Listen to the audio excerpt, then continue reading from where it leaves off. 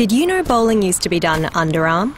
As the story goes, a woman named Christina Willes picked up a ball in 1807.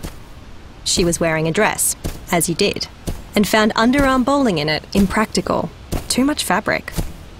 So she decided to bowl another way, changing cricket forever.